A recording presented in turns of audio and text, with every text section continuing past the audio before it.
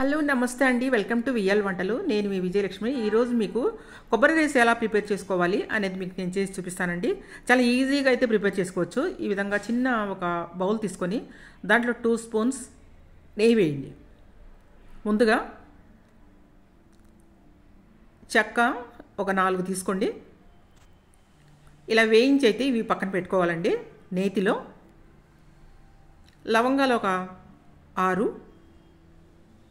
Close. ఇదిగోండి ఇలాచీలు. అలా ఇలాచీగా వేయకుండా కొంచెం అలాగా తీసి వేయండి. అప్పుడు మనకి స్మెల్ బాగా వస్తుంది. అలా తీసి ఒక నాలుగు ఐదు ఇలాచీలని మాత్రం దాంట్లో వేసుకోండి. అవి కూడా నేతిలో అయితే వేయించాలి. ఈ విధంగా మొత్తాన్ని అయితే నాలుగు ఐదు వేసుకోండి.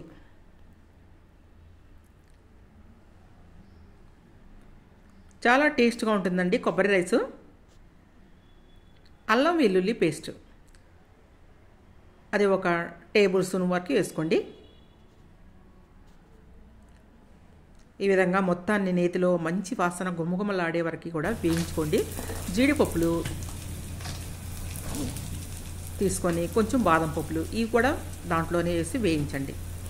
కొబ్బరి అన్నంలో జీడిపప్పులు తగులుతూ ఉంటే చాలా నోటికి టేస్ట్గా ఉంటుందండి. చిన్నపిల్లలు అయితే చాలా లైక్ చేస్తారు.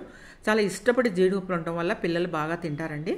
ఈ విధంగా మీరు జీడిపప్పులు కొంచెం ఎక్కువే వేసుకున్నా బాగుంటుంది. కొబ్బరి అన్నంలో మాత్రం ఈ విధంగా బాగా గోల్డెన్ బ్రౌన్ కలర్ వచ్చే వరకు కూడా వేయించుకోండి. బాగా వేయించండి. వేయించి దీన్ని అయితే మనం పక్కన పెట్టి ఉంచుకుందాం. ఇప్పుడైతే ఒక బౌల్తో ఒక బౌల్ రైస్ మనం తీసి క్లీన్ చేసుకొని కడిగి పక్కన పెట్టుకున్నామండి. ఈ గిన్నెలో ఒక బౌల్ మెజర్మెంట్తో అయితే నేను తీసుకున్నాను రైస్. అదిగో ఈ బౌల్ మెజర్మెంట్తో అయితే తీసుకున్నానండి. దానికి కొబ్బరి పాలు అయితే రెండు. అంతకంటే ఇంకొక పావు కూడా ఎక్స్ట్రా వేసుకోవచ్చండి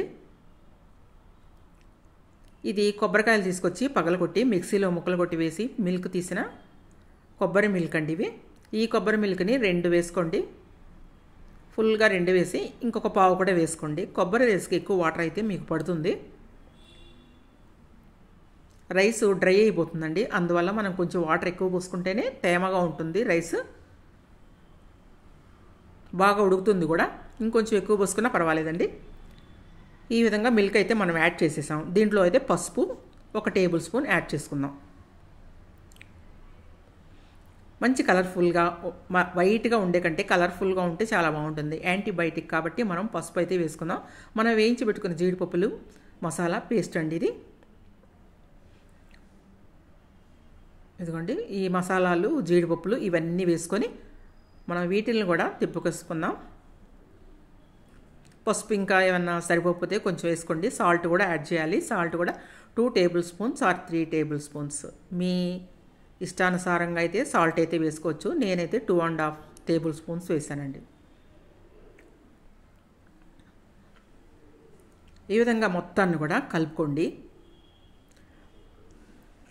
ఇది ఈజీ మెథడ్ అండి. చాలా ఈజీగా చేసే మెథడ్ ఇది షాజీరా. అది ఒక స్పూన్ వరకు యాడ్ చేసుకోండి. షాజీరా వేయటం వల్ల మంచి అరోమా ఉంటుంది. అరుగుదల కొబ్బరి అన్నం కొంచెం ఏదంటారు వాతం చేసింది అలా అంటూ ఉంటారు కదండి. అటువంటి ప్రాబ్లం రాకుండా అరుగుదలకి మాత్రం నేనైతే షాజీరా వేశాను. Two and half tablespoons మాత్రం సాల్ట్ అయితే యాడ్ చేశాను. రైస్లో సరిపోవాలి కాబట్టి టూ అండ్ హాఫ్ ఈ రైస్లో టూ అండ్ హాఫ్ వేసుకోవాలండి. ఈ విధంగా మొత్తాన్ని ఇలా కలుపుకోండి. ఒక ఫైవ్ మినిట్స్ స్టవ్ హై ఫ్లేమ్లో పెట్టుకోండి. తర్వాత సిమ్ చేసేయండి.